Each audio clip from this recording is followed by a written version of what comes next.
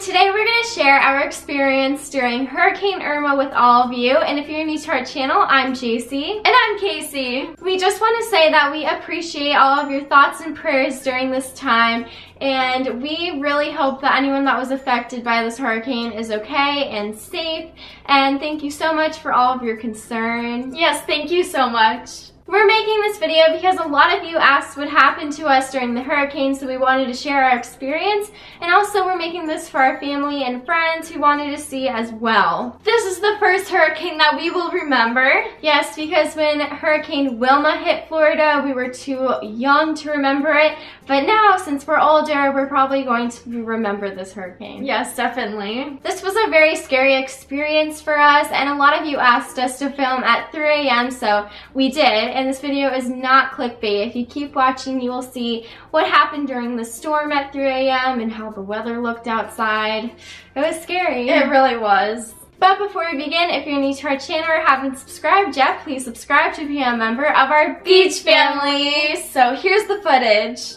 Okay, so we're at Target right now. We're gonna go shopping for some hurricane supplies, even though everything's probably already sold out. I know, yeah. Uh, so we'll show you what it looks like inside.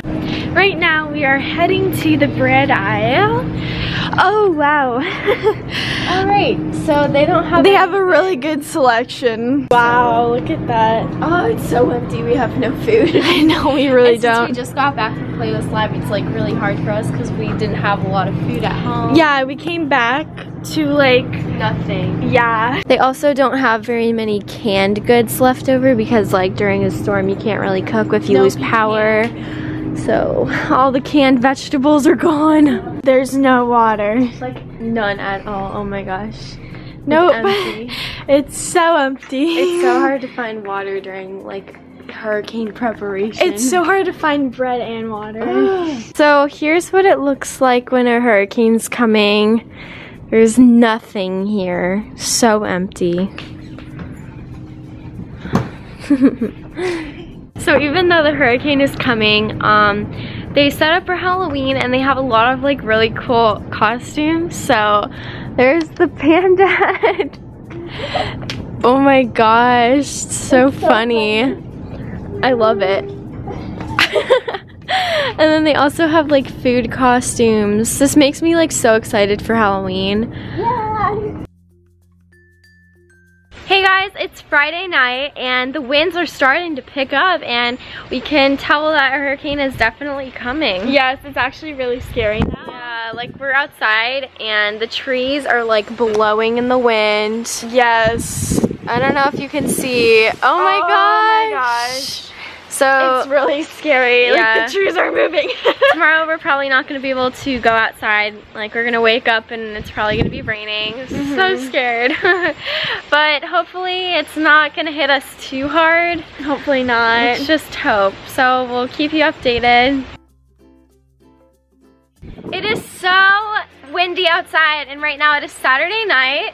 You can probably hear the wind on the camera, so I don't know if you can hear us talking. Look at the trees. They're like blowing in the wind. Oh, it's not Those clear. Those trees are ah. so skinny. Yeah, and then our neighbor has some coconut trees, so hopefully the coconuts don't go like flying everywhere.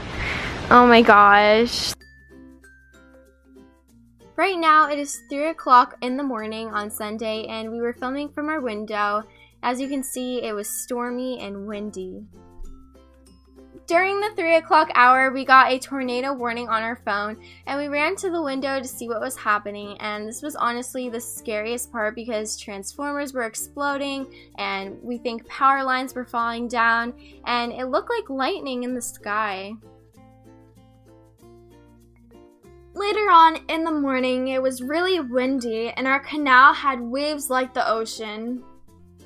The water was rising and it completely covered our neighbor's lower dock. We went outside an hour later and this is what the trees look like.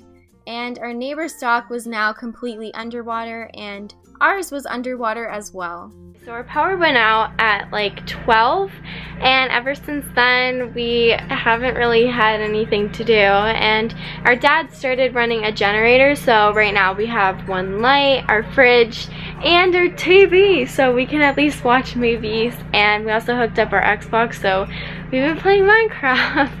That was all the footage, and this was a very scary experience for us. It was, and it was our first hurricane that we're gonna remember, and we've never seen our dock underwater before. That was like the first time that happened. Yes, and so if another hurricane ever comes, we probably will evacuate because if the water kept rising, it would have reached the level of our house and then probably flooded our house. Yeah. It also was really scary hearing all of the different things hitting our roof and the wind coming really hard against our window. Yes, I could not sleep. It was so loud. Yeah, and some of our neighbors' trees actually fell over and that was very sad. A lot of the trees fell over. Yeah. We were without power for four days and Florida was very hot. It was like a hundred degrees outside. So the heat just kept coming into our house and we didn't have air conditioning. So our house was around 85 degrees and that was very hot for and us. And it kept rising. Yeah. We just wanted to say everyone who's affected by this hurricane, you are in our thoughts and prayers. And also if you made it to the end of this video, we are going to be putting in some footage of the beach after the hurricane because we did end up going. And we got some footage. Thank you all for watching this video and thank you for all of your thoughts and prayers. We'll see you next time. We love you so much. Bye!